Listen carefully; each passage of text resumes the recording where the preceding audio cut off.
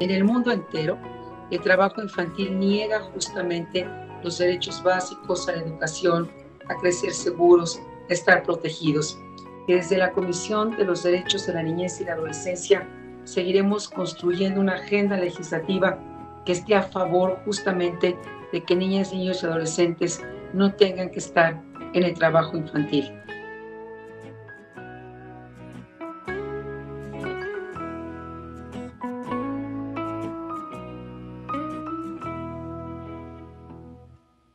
Mm-hmm.